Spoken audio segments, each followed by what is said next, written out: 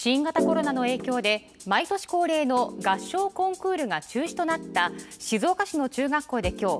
日地元の祭りでは欠かせないあるダンスパフォーマンスが行われました。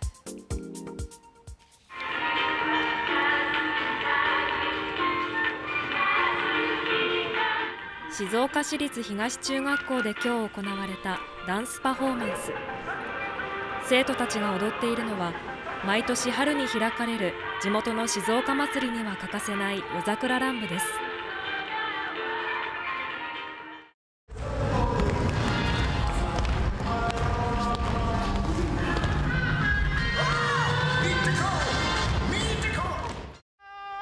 先週体育館では3年生が地元のダンススクールの先生を交えた最後の練習をしていました。ここは普通だよ。回数少ない中でよく覚えてると思います。えっと、ただなんかねちょっと右と左のやっぱ立ち位置が結構違うんだよね。この中学校では今月全校で合唱コンクールを行う予定でした。しかし新型コロナの影響で中止にそこで生徒たちに別の形で表現できる機会をと教職員が企画したのがこの夜桜乱舞でした。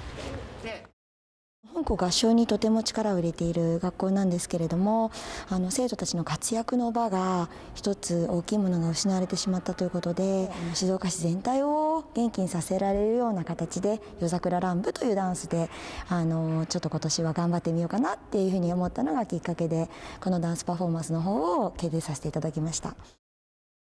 一斉のでじゃじゃじゃじゃじゃじゃじゃじゃじゃじゃじゃ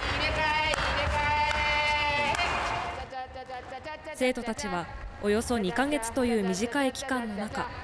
授業の時間だけではなく自宅や教室でも練習に励んだといいます。すごく不安だったんですけどやっていくうちにすごくダンスでも、えっと、クラスの団結を深めることができてすごく良かったと思っています。本番は、えっと、今まで練習してきたことをすべて出せるようにそしてとにかく楽しんで踊りたいと思っています。そして迎えた本番。各学年3つから4つに分かれたグループがそれぞれオリジナルのダンスを披露しました。